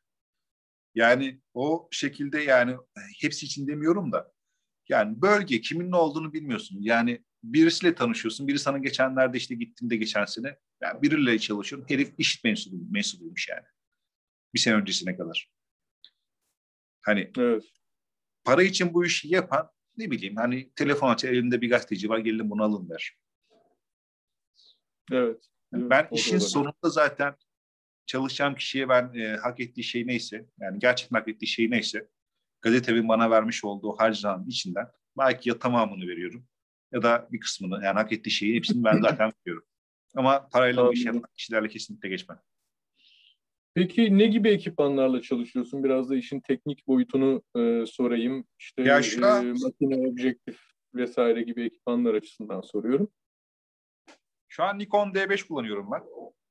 Ee, uzun süredir Nikon kullanıyordum. İşte daha önce işte D3'ünü kullandım, D70'ini kullandım, D4, D4'te şu an D5 kullanıyorum. 24-70 objektifim var. Bir tane tele objektifim var. Ee, tele objektif kullanmayı sevmiyorum. Daha çok hani geniş açı olayların içinde olmayı daha çok seviyorum. Bir yandan da spor fotoğrafçılığı sevmeme sebeplerinden bir tanesi de bu değil. Ekstra da söyleyeyim bunu. Yani tele kullanıyorsunuz. O şey değil. Bir Neden? tane daha bakım var. Sevmiyorsun. Yani özel bir nedeni var mı bunun? Ya şöyle, tele objektif kullandığınız zaman olaydan daha uzak uzakta duruyorsunuz. Yani Hmm. Yani sen objeyi mutlu, e, mümkün olduğunca yakınlaşmak istiyorsun yani. tabii yani tele kullandığınız zaman yani dar açı olduğu için e, bir olay olduğunda sadece onun bir kısmını görüyorsunuz. Yani olayın bütününü göremiyorsun. Olayın içinde olduğu zaman geniş açı objektifle hani oradan çıkaracağım belki 5, 6, 7, 10 tane fotoğraf var ama tele objektifle çıkaracağım fotoğraf maksimum 2'dir ya da 3'tür. Ya olaydan uzakta kalıyorsunuz orada. Önce. Onu kullanıyorum. Bir de e, Nikon D4'üm var. Onu kullanıyorum. Sıcak bölgeye gittiğim zaman e, iki makine kullanıyorum. Birinde geniş açı kullanıyorum. Birinde teleyi kullanıyorum. Hani e, objektif değiştir, çıkar yaptığımız zaman zaman kaybı oluyor. Bir olay gördüğünde uzakta. Yani objektifi değiştirdiğin zaman orada olayı, e, olayı kaçıyor. Uzakta olan şeyleri teleyle, yakında olan şeyleri geniş açıyla hızlı bir şekilde çekiyorum. E, bir de e, Fujifilm var ben X-T4. Ona da yeni geçtim. E, Nikon'un da bırakacağım herhalde muhtemelen. Aynasız makinelere geçtim, küçük makinelere. Hı hı. Onları kullanıyorum. Ee, onun dışında başka kullandığım bir şey yok. Yani Fuji'yi de video çektiği için, yani iyi video çektiği için aldım zaten. Hı. Bir de küçük makine. Çünkü bizim makineler çok büyük olduğu için bir yere gittiğinizde direkt tak diye gazeteci olduğum belli oluyor. Sorun yaşıyorsun, gazeteci misin diye soruyorlar. Bazı e, çekimleri yapmamıza izin vermiyorlar ama küçük makine olduğu zaman turist gibi Hmm. gidip işini çekiyorsun, ediyorsun, hallediyorsun ve kimse de fark etmiyor. Onun için küçük makineye geçtim. Ve ortaya çıkan e, işin kalitesi de çok fark etmiyor mu o açıdan? Hiç fark etmiyor. Anladım. Yani direkt hatta daha iyi sonuçlar alıyorum diyebilirim. Anladım. Portre çekimlerinde de yine herhalde geniş açı aynı ekipmanla mı gidiyorsun? E, portre çekimlerine evet. Geniş açı ve tele ile gidiyorum. Bazen e, tele ile portre çekmek daha tatlı ve daha hoş olabiliyor. Çünkü arka alanla e, çekeceğin kişi objenin arkasını daha çok sıkıştırdığı için, alan derinliği verdiği için bazı Ha, işler alan derinliğini artırıyor doğru. bazı işlerde tele çok tatlı bir sonuç verebiliyor. Ama bütün objektiflerimi Evet. götürüyorum ben portre çekimlerinde. Sonrasında peki fotoğrafı çektikten sonra ona e, belirli yazılımlar üzerinden e, şey yapıyor musun? E, Photoshop vesaire e, bir oynama yapıyor musun veya Tabii tabii. Yani portre fotoğrafları çektiğim zaman yani bir fotoğrafla neredeyse bir 45 dakika, bir saat boyunca oynuyorum ben. Özellikle sanatçılarımızı, ünlülerimizi çektiğimiz zaman. Çünkü onların cinslerini yapıyorsun, ritaçlarını yapıyorsun, renk ayrımlarını yapıyorsun, arka planları. Bazen fotoğrafları yolluyoruz. Bizim arkadaşlar yolluyorlar muhabirler. Neden yolluyorlar bilmiyorum. O da ayrı bir şey. Saçını beğenmiyor. Saçını yok ediyorsun. Üstündeki e, ceket yeşil. Ya yeşil olmamış diyorsun. Yeşili kırmızıya çeviriyorsun. Böyle şeyler de oluyor. e, şeyi de e, daha sıcak haberlerde nasıl oluyor iş? Sıcak haberlere direkt olan, olan neyse yani çektiğim fotoğrafları direkt bilgisayara atıp zaten sıcak olaylarda hani çektiğim fotoğrafları zaten daha e, aklında kazınıyor zaten. Gazeteye hangi fotoğrafları göndereceği, nasıl bir hikaye oluşturacağım aklında bulunuyor zaten. Onu zaten bilgisayara attığın zaman onları hemen tek tek seçip işte e, hafif patlaksa çünkü sıcak haberde estanteni ya da diyaframı bazen ayarlayacak zamanını bulmuyor. Hemen e, test ederek ayarlayamıyorsun. Evet. Hasbel, evet. hasbel demeyeyim de yani şey artık elimiz alıştı işte. Bakıyorsun burası diyorsun ki 250 santene verir. Ona göre alıyorsun ve çekmeye başlıyorsun fotoğrafları. Hı hı. Bazen bir stop iki stop kaçabiliyor. E, pat biraz ışık fazlaysa ışığını kısıp biraz karanlıksa ışığını e, arttırıp biraz da croplayıp ondan sonra hemen gazeteye e, FTP üzerinden bizim kendi sitemizi Daha minimal, minimal oynamalar yapıyorsun yani. Tabii tabii. Tabii. Evet. Peki bir de daha sonraki aşaması var. Buradan sonra editöre gidiyor e, çektiğim fotoğraflar. O da ayrı bir değerlendirmeye tabi tutuyor. Hangisi yayınlanır, hangisi yayınlanmaz vesaire gibi. Onların ya kriterleri. Şöyle, bir yandan da şeyi daha, daha sonrasında o seçme işlemi neye göre, hangi kriterlere göre kullanıyor? Onu Asıl önemli nokta o ya. Şöyle bir şey daha söyleyeyim. Yani gazete fotoğrafçılığı, ajans fotoğrafçılığından daha zor diyebilirim bu anlamda. Hmm. Şimdi e, bir Suriye'ye falan gittiğim zaman ben, e, şimdi bizim gazete işte Reuters, AP, AFP, e, Doğan Haber Ajansı, Anadolu Ajansı yaklaşık 7-8 tane haber ajansına üye. Her ajans da oraya 3 tane adam gönderiyor. E, hı hı. Sen de oradasın. Öyle şeyler yakalamayalım, öyle şeyler çekmeliyim ki ben sadece kendimle değil oradaki 21 insanla yarışıyorum. Çünkü onların sistemleri daha hızlı. Onlar çektikleri gibi onların fotoğrafları sisteme düşüyor. Yani makinelerindeki o ya da şey e, kendi özel yazılımlarıyla beraber işte internet makineye bağlı hemen kendi sistemlerine falan düşüyor. Benim öyle bir şansım yok. Benim olayları çekip olaylarım bitip hemen bilgisayar başına oturup fotoğrafları geçmem gerekiyor. Çünkü onlar zaten benden bir saat önce geçmiş oluyorlar fotoğrafları. Onun için benim evet. biraz daha e, çünkü sayfa yapılırken yani oradaki editör tamam bizim fotoğrafları seçer ama e, sayfayı yapan yazı işleri müdürleri Hani ben fotoğraf gönderdim göndermedim onu düşünmüyor. Önüne düşen ilk fotoğraf hangisi olayla ilgili onu alıp kullanmaya çalışıyor. E bu sefer ben şey yapıyorsun hani daha farklı, daha çarpıcı fotoğraflar çekmeye çalışıyorsun. Onlarda olmayan fotoğraflar çekmeye çalışıyorsun. Çünkü e, bizim şöyle bir avantajımız var. Gazete olduğumuz için bir biraz da hikayesel bakıyoruz olaya. Genelinden özeline kadar. Rahat rahat çalışıyoruz böyle e, sinire sinire çalışıyoruz. Ama ajansçıların şöyle bir sıkıntısı var. İlk geçen ve en iyi fotoğrafı geçen olmak zorunda. Bir yandan da diğer ajansta çalışan arkadaşların neler çekmiş neler çekmemiş ona bakmak zorunda. Çünkü onların da iyi fotoğraf çekmesi lazım. Bir özel fotoğraf çıkarması lazım onların. Onların da öyle bir rekabeti var. Olduğu için onlar hızlı geçiyor. Ben biraz daha sinire sindir. Hani biraz daha bazen o hikayelerden hani o şeylere kendime güveniyorum biraz. Hani yapabildiğim ya da severek yaptığım iş olduğu için. Öyle bir hikayemiz oluyor. Bazen benim çektiğim kullanılıyor. Bazen aynı fotoğrafı gönderiyorsun. Bir, e, atıyorum Reuters'tan biri de çekmiş oluyor fotoğrafı. Sabah gazeteyi açtığımda seninki değildir, Reuters'ınki kullanılmış oluyor mesela. Hmm. Öyle şeyler de var. Ee, yani öncelikli olan, e, öncelikli kriter hız, hızlı olması. Bir de şey herhalde, e, yani bir de iyi fotoğraf olması dedi. Tabii. İyi fotoğrafı nasıl altını doldurabiliriz? Yani hani onun aslında merak ediyorum. Hızın dışında iyi fotoğrafın altını iyi hani bu şeyler açısından tabii editörler açısından soruyorum aslında ya, biraz bunu. Anladım. Ya iyi fotoğrafın aslında nasıl diyeyim aslında? Ya iyi fotoğraftan ziyade şöyle. Olayı anlatan fotoğraf. Hmm. Bir olay var aslında sen çok güzel portreler çekiyorsun, çok güzel hikayeler çekiyorsun ama o portre ve senin yaptığın hikaye olayı anlatmıyor. Hmm. Direkt bana olayı anlatacak fotoğraf lazım. Yani orada bir savaş varsa sen e, düşen bombayı vermiş olduğu o kıvılcımı değil de kıvılcından sonraki o duman görüntüsünü geçiyorsan tamam bu da orada olay ama fotoğraf. Güzel fotoğraf veriyor bazen o da ama e, bu fotoğraf değil. Adam senden şey istiyor. Kıvılcımı istiyor. Olayı o anlatıyor orada. Senin onu göndermek. Yani orada, orada biraz e, entertainment, eğlence değeri, değerine bakıyor. Bir de e, olayı anlatması, olayı özetlemesine e, bakıyor. Yani sen çok sanatsal falan çalışıyorsan işte hikayeler anlatayım, insan evet. hikayeleri bulayım falan. O pek aslında tercihleri değil yani. Değil. Ya şöyle bir örnek vereyim. Mesela Aylan Bebek fotoğrafı var. Hı hı. Hepimiz biliyoruz Aylan ve Bey'in fotoğrafını.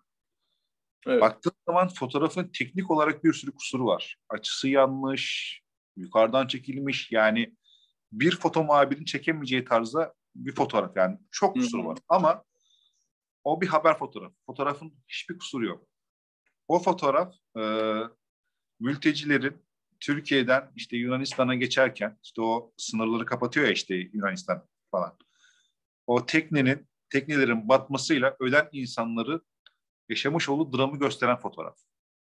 Evet. Her şeyi anlatıyor. Teknik olarak birçok kusuru var. Ama o fotoğraf her şeyi anlatıyor. O fotoğraf ya düşünsenize yani Avrupa Birliği'nde Merkel'in elinde olduğu Obama fotoğrafı gösterdi. Ne bileyim Macron'un fotoğrafı gösterdi. Yani son 100 yıla damga vuran 15 fotoğraftan bir tanesi. Evet.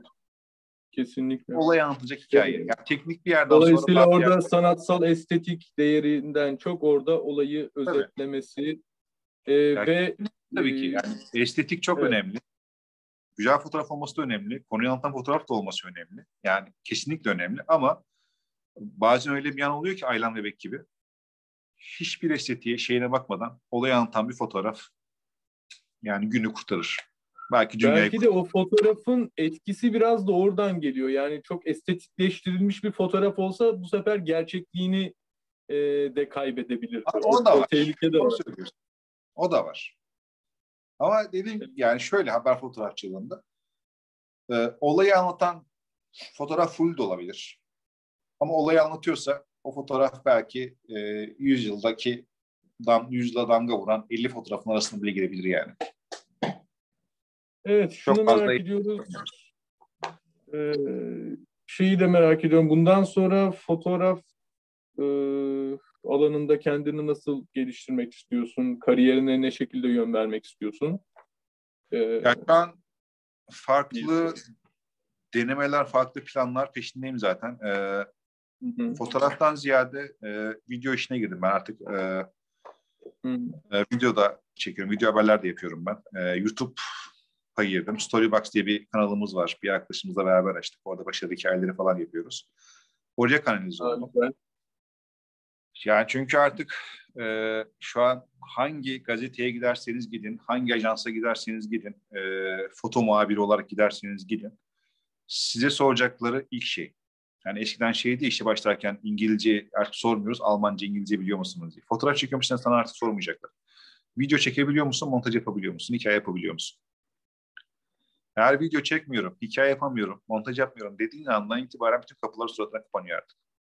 Yani şu an anlattığımız o Murat Sezerler dahil, Büyük Beşiktaş. Bektaşlar dahil bunlar Türkiye'nin en önemli, Reuters'ın en önemli foto muhabirleri ve e, 40'lı yaşlarının sonlarındaki kişiler video çekmeye başladılar. Çünkü video yoksa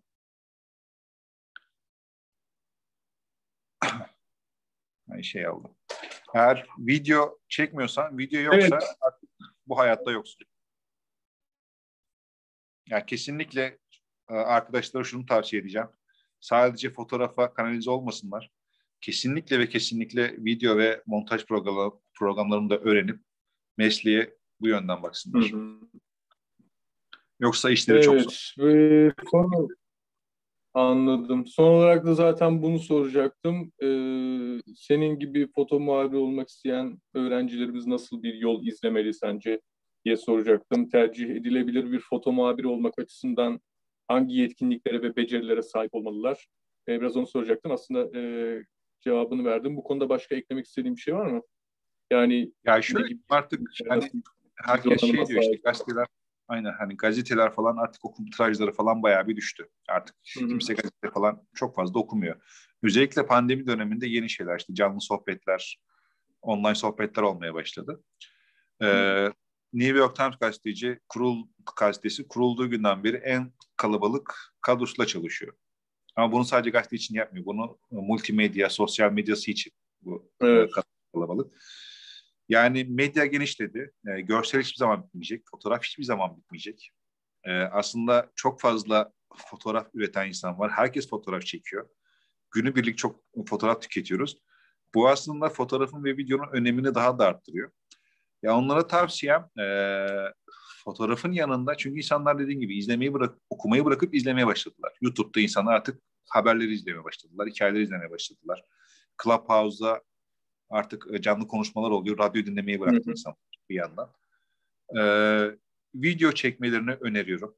Ee, hayat hikayelerini yani yapmış olacakları fotoğraf hikayelerinin yanında onların videolarını da çekmelerini ben tavsiye ediyorum. Video haberler yapmalarını tavsiye ediyorum. Eğer bu ikisini e, birleştirip bunları bu ikisini entegre e, bu ikisini bir arada yürütebilirlerse önleri çok açık.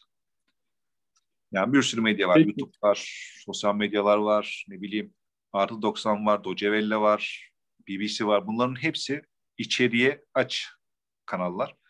İyi içerik ürettiğiniz andan itibaren zaten sizden bunlar alırlar ve siz de çok rahat bir şekilde çalışırsınız buralarda.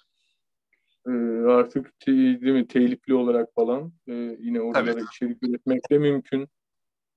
Ee, Bu yetkinliklere sahip olmak önemli. Aynı zamanda dijital medyaya e, bu mecralara da entegre olabilmek, onları iyi etkili bir şekilde kullanabilmek de aynı zamanda önemli yeni medyayı. Ee, Yani- artık sadece Şu zamanda şöyle diyeyim, e, çok çalışanın değil, değişime ayak uyduran hayatta kaldığı bir zamandayız şu an. Hı hı. Çok çalışman bir şey ifade etmiyor. Değişime ayak uydurabiliyorsan hayatta kalıyorsun ve çok iyi işler yapabiliyorsun. Şu an herkes içerik istiyor, kaliteli içerik istiyor. Bunu Gain'de, Netflix'te, Exxen'de, ne bileyim e, yeni kurulacak işte YouTube'da, işte Docevelle, BBC ve hepsi içerik arıyor. Deli gibi içerik arıyorlar. Siz bunlara e, iyi bir şekilde içerik hazırlarsanız, yani İstanbul, Türkiye yani içerik kaynıyor, haber kaynıyor, hikaye kaynıyor. Evet. Burada hiçbir şey etmez.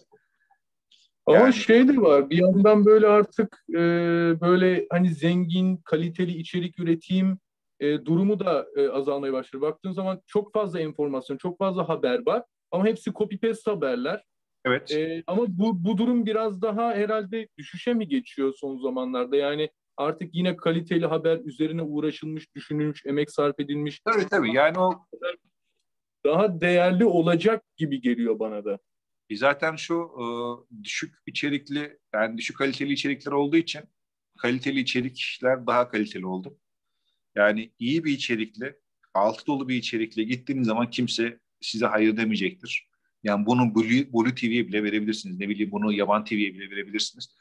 Yani bilgi çağı diyoruz yani öyle yani. O sahip olduğunuz bilgiyi kullandığınız andan itibaren önünüz açık oluyor. Evet. Yani çok çalışmanın yerine artık ediyoruz. Ee, şeyde e, sorusu olan arkadaşlar var sanırım. Cansu Can bir soru sormak istiyor. Tabii. Cansu söz alabilirsin.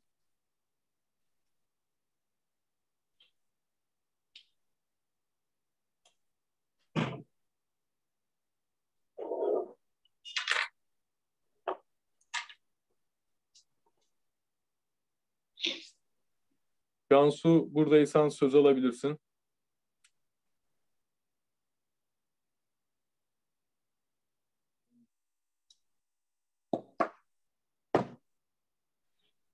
Mikrofonunu açamadın. Onun için izin mi vermek gerekiyor? Nasıl yapacağız bilmiyorum. Sanırsam izin vermen gerekiyor. Ee, nasıl yapacağımı bilmiyorum ama. Onu ben de bilmiyorum şu an.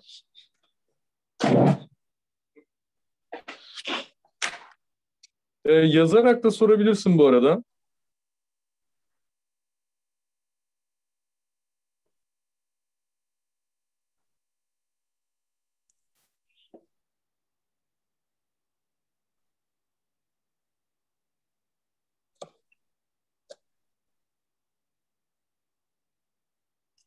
Evet Cansu yazarak sorabilirsin.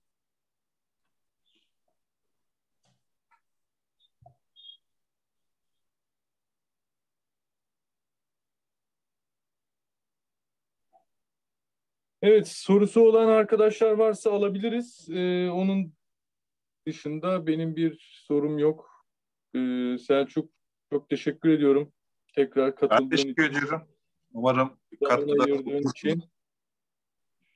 Ee, Evet, Selçuk Bey söylediğiniz gibi e, eli dolu gittiğimizde kimse bizi çevirmeyecek diye düşünüyoruz. Olması gereken de bu ama maalesef artık kimse elindekinin dışında e, kimseyi almak istemiyor veya işte ya biraz da e, herhalde şeyi de söylemek istiyor. Hani mesela ben ücretsiz staja bile razıyım e, ama bunun için önümüze bir şey konulmuyor diyor Cansu. O Yani konuda sektörü o konuda- evet yani aslında bütün sektörlerde giderek böyle bir sorun ortaya Evet. çıkıyor. Herkes tanıdığı kişiyi almak istiyor. İşte çok kapalı dar bir çevre içerisinden şey yapıyorlar. Ya şöyle Cansu'ya şöyle bir örnek e, tavsiyede bulunabilirim. Yani Hürriyet Gazetesi'nde çalışıyorum mesela. Hürriyet Gazetesi'ne en son kadroya alınan iki kişi var. Benle Murat Şaka. Tanıyorsun Murat'ı bizim okulda. Ve Evet. 10 sene, 10 sene, 11 sene önce alındı kadroya ve onun dışında kimse yok. Hani yeni birisinin gelmesi için içimizden birinin ölmesi gerekiyor. Öyle diyeyim yani. Yani sektör. Ama bu hiçbir şekilde umutsuzluğa kimseyi e, sevk etmesin. Zaten gazetelerin ve televizyonların durumları ortada. Ee, çok az çalışan var. Ee, az insanla çok iş yapılabilir. Mesela bizim gazetenin çıkarılmasında şu an yazı işlerinde 15 kişi var. 50 tane muhabir var. O gazetenin çıkması için orada 10 kişinin kalması yeterli benim için. Yani bana sorarsanız 10 kişi yeterli bir gazetenin çıkması için. Çünkü bütün ajanslardan haberler geliyor, ajanslardan fotoğraflar geliyor. Onları derleyip gazeteye çıkarabilirsiniz 10 kişi falan. Ee, benim şu anda çalışan bir sürü arkadaşım var. Hepsi freelance çalışıyor, hepsi serbest çalışıyorlar. Ee, belki bir yıl sonra, belki bir ay sonra, iki ay sonra ben de serbest çalışabilirim, freelance'e dönebilirim. Ee, gazetedeki durumlara bağlı. Ee, ona kanal, kanalize olabilirsiniz. Yani freelance'de çalışabilirsiniz, serbestte çalışabilirsiniz. Yani illaki bir yere bağlı kalıp e, çalışmanız gerekmiyor bu meslekte. Ürettiğiniz zaman her zaman var olursunuz ya. Yani çünkü iyi bir şey çıkardığınız zaman, atıyorum bunu kendi YouTube kanalınızda da yayınlasanız, e, kendi sosyal medyanızda da yayınlasanız, onlar bir şekilde gözükür, bir şekilde görülür ve bir şekilde de e, hepsinin bir alıcısı olur diyeyim. Yani hiç umutsuzluğa falan kapılmasınlar bence. Evet yani biraz öyle bir durum var. Artık yani e, gazetelerin, televizyonların falan çok geniş kadroları yok. Artık teknolojinin Evet. de gelişmesiyle birlikte zaten mesela bir radyo yayını bile yapacağın zaman mesela eskiden radyolar böyle bir sürü çalışanı falan olurdu ama artık baktığın zaman çok e, odada kendi başınıza bile bir radyo programı yapabilirsiniz falan eli yüzü düzgün dinlenebilecek. Veya ne bileyim gazete için de aynı şey artık böyle kadroları bu anlamda daralıyor ama e, dediğin gibi biraz daha freelance çalışma olanakları daha fazla arttığını e, görüyoruz yani giderek günümüzde. E, zaten birçok e, medya sektörü de e, freelance çalışanlara yöneliyor. Yani bu işte Reut- örnek verdiğimiz example Reuters, işte BBC, işte Fransız Haber Ajansı. Yani hepsinin birer tane kadrolu elemanı var burada. E, Evet.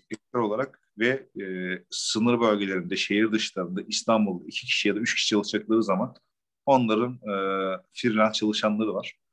Onlarla işleri götürüyorlar. Artık bütün dünya küçülmeye başladı. Bütün medya sektörleri küçülmeye başladı. Mesela Evet, kadrolarını daraltıp Evet, e, evet.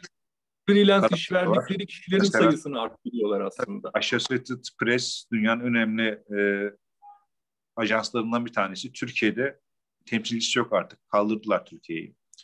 Dünyada küçülmeye gittiler. Yeni elemanlar ya da yeni stafflar almıyorlar. Kendi işlerinden artık bir yerleri transfer etmeye çalışıyorlar. Ya şey belli artık, dünya düzeni belli. E, yazılı ve görsel basın kendini yenileyemediği için özellikle Türkiye'de ya da gelişmekte olan ülkelerde, al geçmiş ülkelerde e, yeni şeye, e, yeni çağa uyduramıyorlar. Türkiye'de bunlardan bir tanesi. Onun için hiç pes etmeye gerek yok. E, Türkiye'de hiçbir zaman haber bitmeyecek. Hiçbir zaman da olaylar bitmez. Her gün gündem değişiyor. Her gün farklı farklı hikayeler görüyoruz. Yani biz gazete bile yaparken bazen toplantılara falan katılıyorum. Yani manşet olacak beş tane haber geliyor bize. Beş tane olay geliyor. Yani hükümeti ayrı, insanları ayrı, doğusu ayrı, batısı ayrı. Bir sürü olay geliyor. Hiçbir zaman Türkiye'de haber bitmeyecek. Ee, belki daha iyi olacak. Daha iyi şartlar olacak.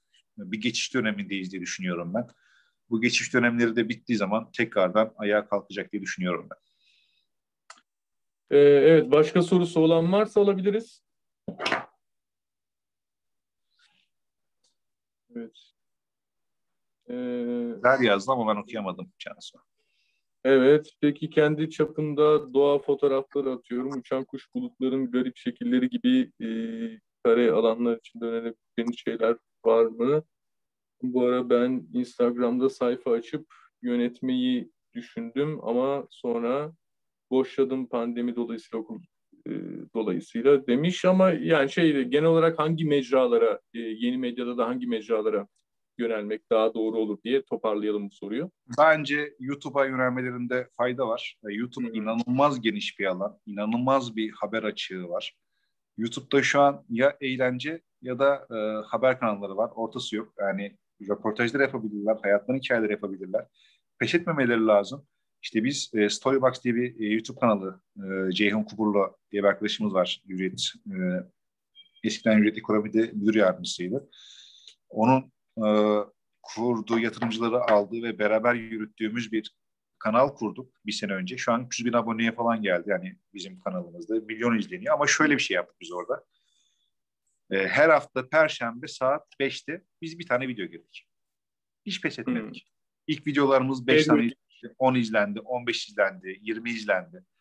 Yani mesela arkadaş Instagram'dan da bahsetti ya böyle sonra boşladım diye. Ya hepsinin bir algoritması var. YouTube'un da Instagram'ın da.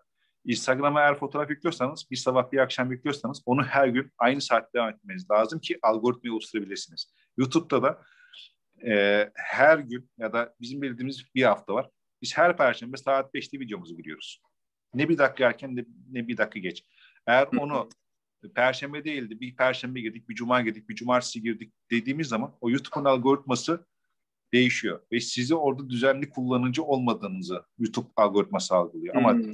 Yılmadan bir şekilde her gün aynı şekilde ya da belirlediğiniz zaman dilimleri içinde e, video ya da fotoğraflarınızı girdiğiniz zaman siz algoritmanın içine girersiniz ve orada da YouTube ya da Evet. Instagram sizi biraz ön plana atar.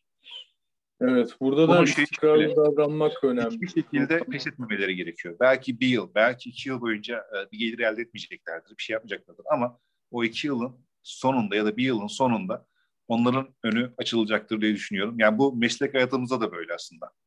Hiçbir şekilde pes etmememiz gerekiyor. Evet, çok teşekkür ediyoruz Selçuk e, katıldığın için, zaman ayırdığın için. Ben teşekkür ederim.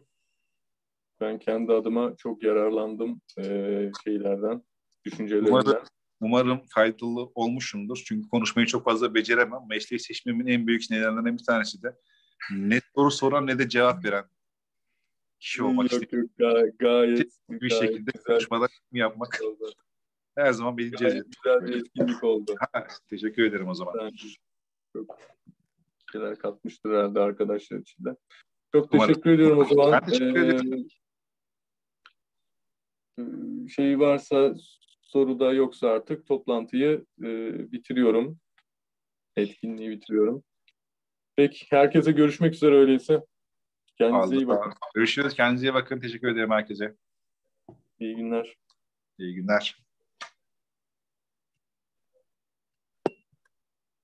Kapatıyordum ben bunu şimdi. Basıp yukarıdan end diyeceğiz.